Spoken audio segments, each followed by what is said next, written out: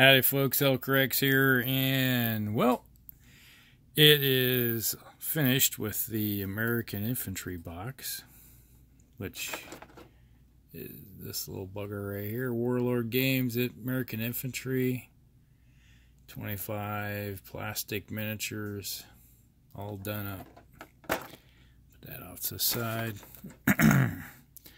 well, you know, took a little bit of while to get these done. Kind of busy with everything that's going on around here.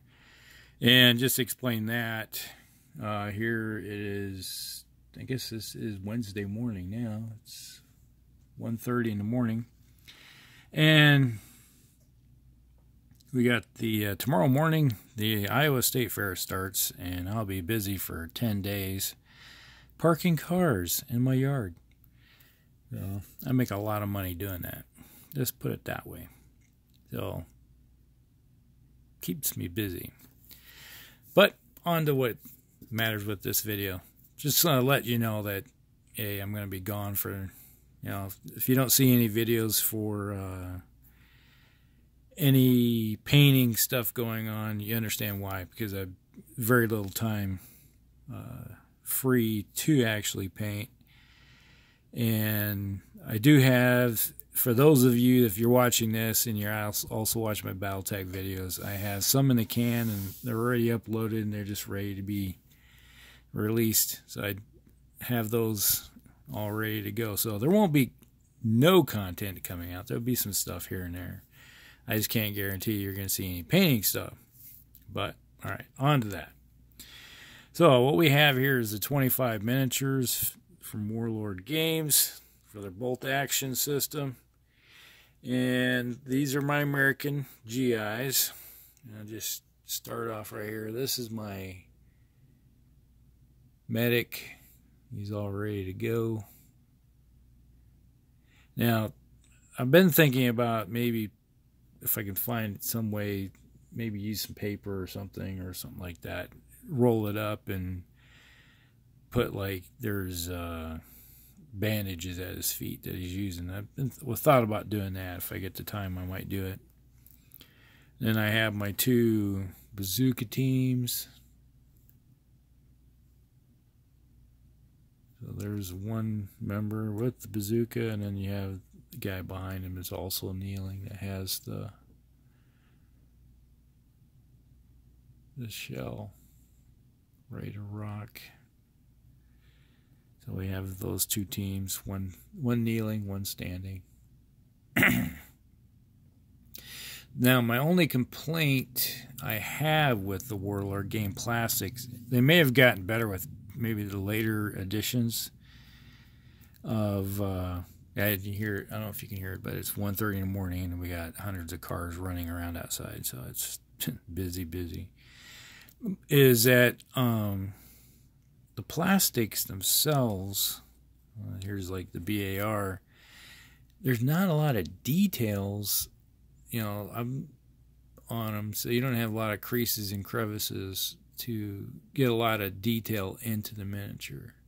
Just let that be known. But overall, they're not bad. They get the job done. You know, who can complain about the price? So if you're worried about um, picking them up. They're they're good. They're, I'm saying they're they're not crap or anything. They're not. It's just that I wish just wish there was a little bit more detail because you know I'm a painter. I like bringing out the detail on miniatures.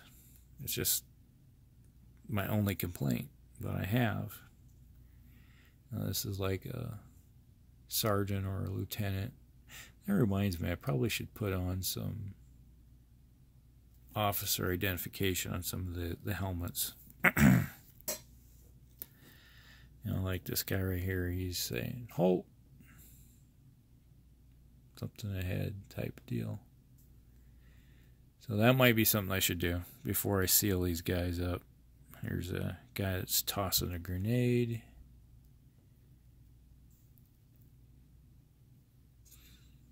Uh, you know, some of I have one squad that has uh, this is the one BAR with the uh, they have backpacks on.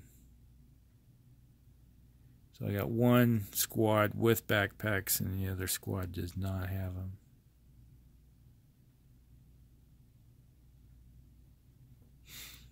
And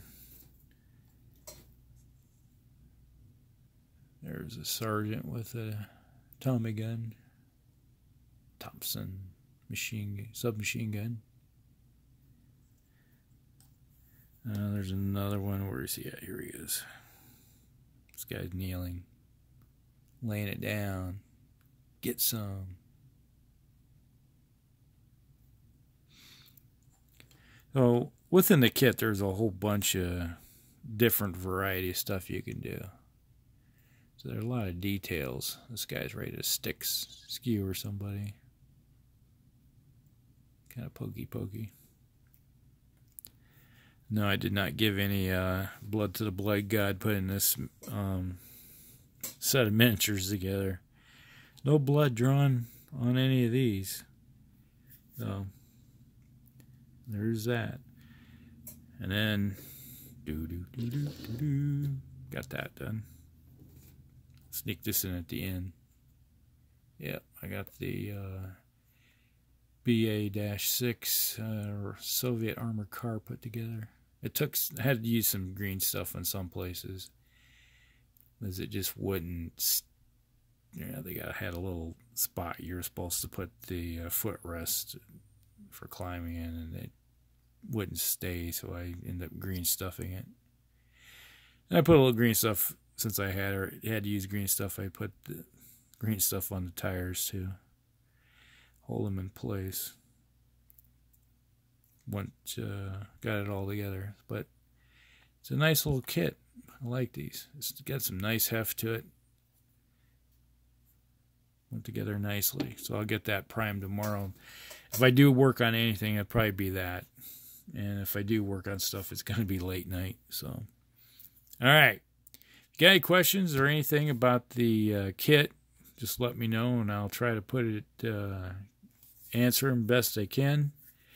And if you got any questions about what I use for painting, I was using the US paint set with all the paints. One of these days I might have to get some. I went through a lot of it painting up my Americans here. But it's basically Vallejo paints, I believe. So, all right. You guys have a good one, and I'll talk with you later.